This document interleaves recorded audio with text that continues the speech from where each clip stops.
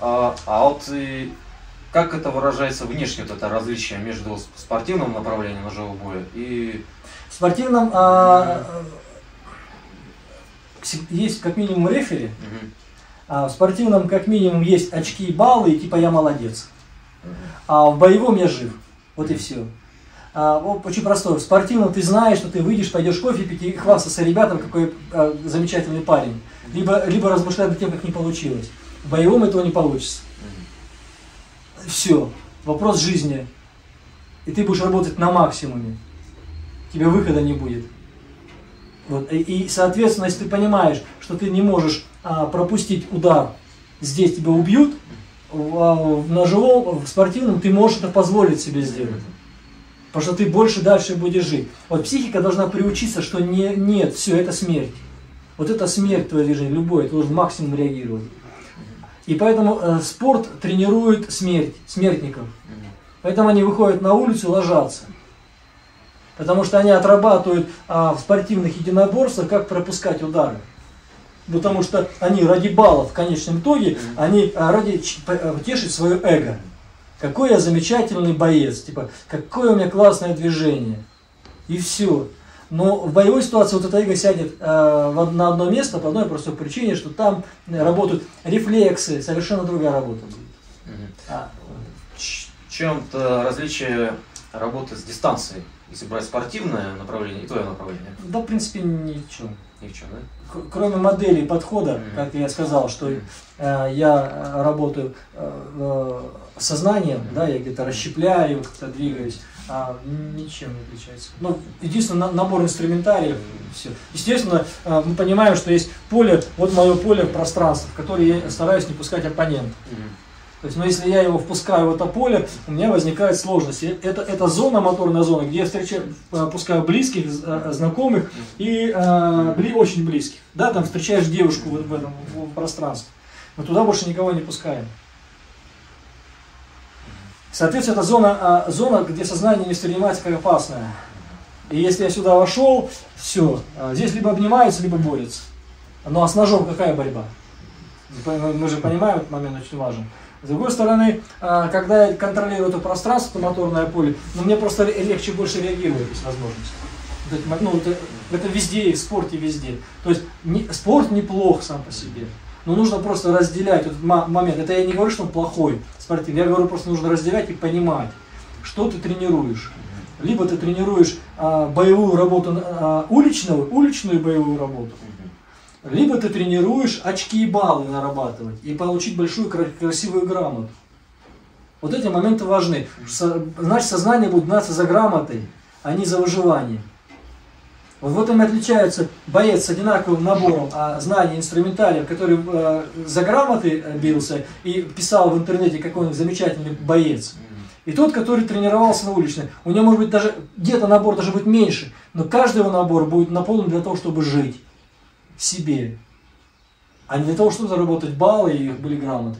Соответственно, э, это ну, Вселенная будет помогать, я говорю так. Мотивация разная. Ну, тут даже мотивация, она, и мотивация разная, и, и соответственно, э, где я ломаться начну.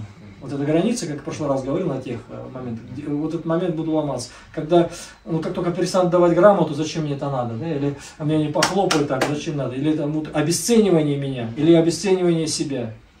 А я когда, когда человек взаимодействует, конфликтует, а, возникает, я становлюсь я и оппонент как одно целое. А в спортивном я себя всегда разделяю. Есть тот, кто а, является ступенькой к моему профессиональному росту. А здесь нет, я его на одно целое. Если я, я не войду с ним во вторую позицию, как в НЛП называется, я, я, мы, да, мы я, мы я, то есть кто я вот здесь сейчас, я хочу, здесь что я так вернулся опять. И вот этот момент почувствовал, даже с тобой качаемся, обратил внимание, а, я уже даже с тобой общаюсь, качаюсь по неволе, то есть уже подсоединился. Это, это типа что-то рапорта? Да, да, это рапорт.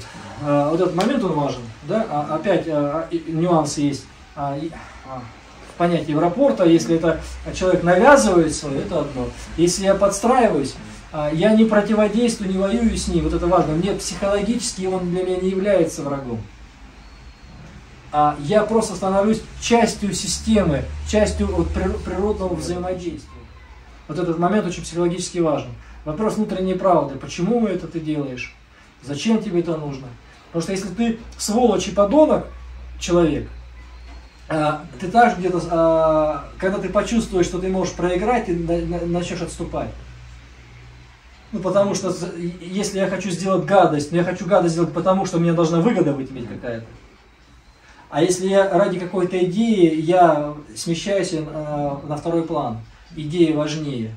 А, например, идея э, сохранения рода, как мы говорили, да? Потому что ты защищаешь не себя, ты защищаешь за э, ближних своих, которые стоят за твоей спиной.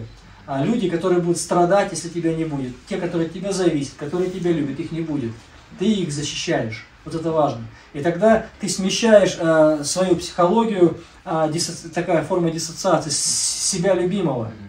Тогда тебе легче э, реагировать психологически, потому что есть такое понятие внутренней правды. Э, это называют честью, там, неважно. Тогда э, акцента нет на себе. Тогда люди э, совершают какие-то героические поступки. Но опять же, мы стремимся, не стремимся, не нужно стремиться к героическим поступкам.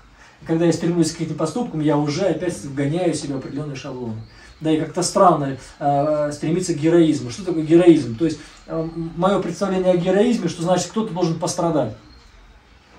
То есть я человек мира, и я иду, и я хочу быть героем. Но мой героизм строится на трупах. Сзади тобой, кроме твоей семьи, твоя мечта и твоя цель. А, быть там удачным, там, а, замечательным там, папой, а, прекрасным там, а, человеком, достигать какие-то свои цели в жизни – вот, то есть человек не просто нападает, он нападает на твои цели, он говорит, стой, вот ты, ты к своей цели не пойдешь, я буду стоять, я тебя туда не пущу. И когда ты это понимаешь, что на каком основании по законам природы у нас никто не имеет права запрещать, я в своей вселенной нахожусь, я э, с уважением, с любовью отношусь ко всем, никто не может остановить меня. И когда это есть такое трансперсональное чувство и понимание, тогда Вселенная начинает помогать. Но это уже область э, боевой магии, это уже немножечко другое.